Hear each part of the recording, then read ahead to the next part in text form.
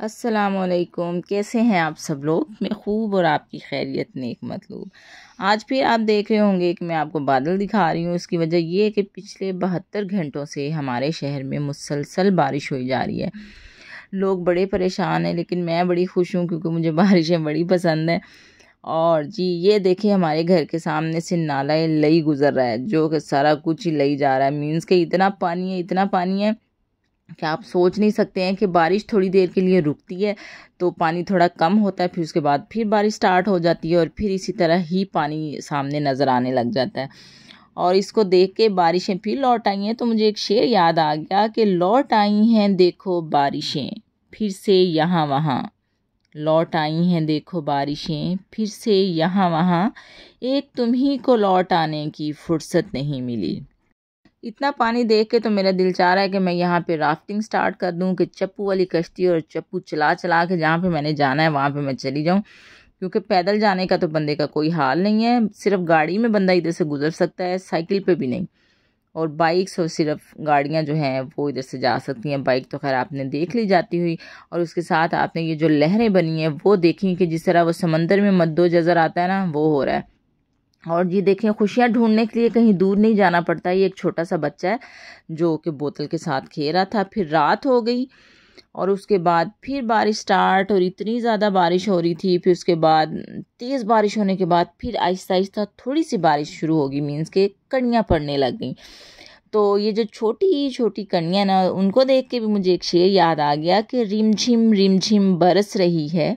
या तुम्हारी कतरा कतरा क्योंकि कतरा कतरा ही बारिश बरस रही है। जो तेज़ बारिश थी, उस टाइम मैं रूम में थी और बच्चों का जो फरमाइशी प्रोग्राम था, मैं उसको नोट डाउन कर रही थी। और उनकी फरमाइश ये थी कि आज हमने रोटी नहीं खानी है, आज आप हमें ना पकोड़े और फ्राइज़ बना के दें। और होता यूँ है कि हम पाकिस्तानियों पे नमाज़ें फ़र्ज़ हो ना हों, लेकिन रमज़ान में जो पकोड़े हैं, वो वाजिब हो जाते हैं और बारिशों में जो पकोड़े हैं और वो फ़र्ज़ हो जाते हैं। आज फिर मैंने सोचा कि चलें, ठीक है, बच्चों की ज़रा ख्वाहिश पूरी की जाए। ये मैंने बेसन जो था, वो उसको, उसकी लिट्टी बना के रखी थी। अच्छा कई लोग चम्मच के साथ वीडियोस में ना, वो बनाते हैं और उसको मिक्स करते हैं बेसन को ना। तो मेरे से ना चम्मच के साथ कभी भी मिक्स नहीं होता है सही तरीके से। मुझे अपने हाथों के साथ हर काम करना जो है ना, वो ज़्यादा कन्वीनियंट लगता है और मज़ा आता है मुझे। अल्लाह ताला ने ये हाथ जो हैं वो सिर्फ़ नो पॉलिश लगाने के लिए और सुर्खी पाउडर लगाने के लिए नहीं दिए हैं। हाथ से काम करें तो कुछ वो जो हाथ का जायका होता है वो भी खाने के अंदर आता है और मुझे लगता है कि इससे थोड़ा सा इजी हो जाता है काम।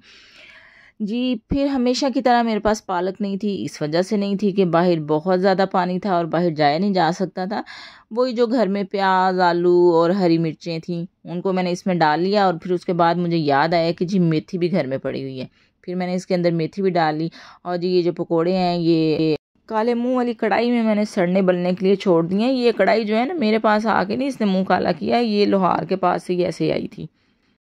पकोड़े बन रहे थे और जी, शुक्र है कि अभी तक हमारी जो बत्ती है, वो गुल नहीं हुई है, क्योंकि पहले जा रही थी, आ रही थी, आ रही थी, जा रही थी। ये वाला हिसाब हो रहा था, लेकिन अभी थोड़ी देर के लिए जो बारिश कम हुई है तो बिजली भी थोड़ी जो है ना, वो टिक गई है।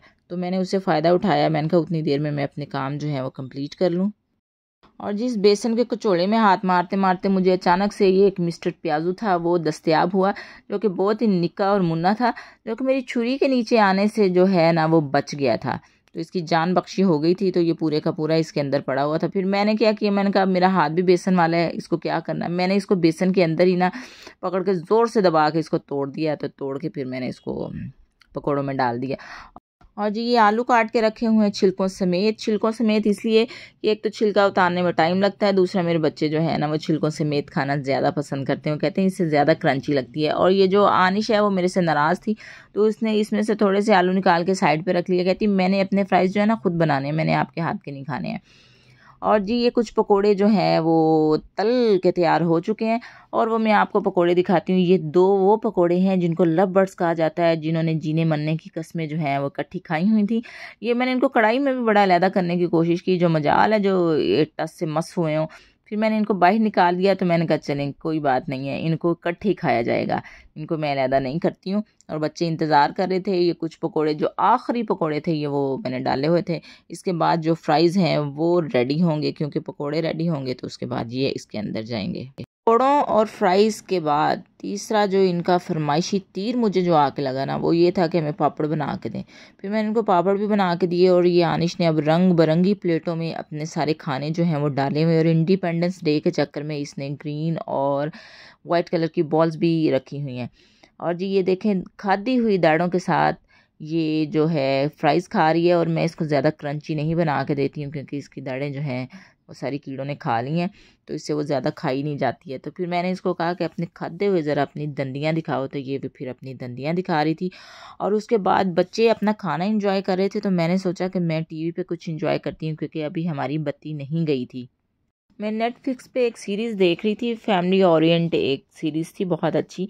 तो मैंने कहा कि मैं उसको इंजॉय करती हूँ और बच्चे जो है अपने अपने मोबाइल से इंजॉय कर रहे हैं।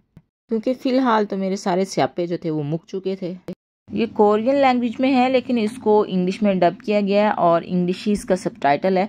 तो फिर मैं देख रही थी तो मैंने कहा थोड़ा सा इसको भी दिखाया जाए। और जी, जो मेरे चैनल पे न्यू है प्लीज़ इसको लाइक कीजिएगा सब्सक्राइब कीजिएगा और प्लीज़ शेयर भी कीजिएगा।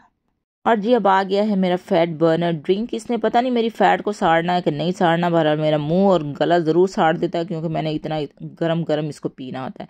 और इसके अंदर मैंने सौंफ, इलायची दारचीनी और पुदीना भी डाला हुआ होता है और कभी कभार छोटा छोटा नींबूड़ा भी मिल जाए तो मैं वो भी डाल लेती हूँ। और जी देखें कि मैंने अपने सूट के साथ कितना इसको मैच किया हुआ है।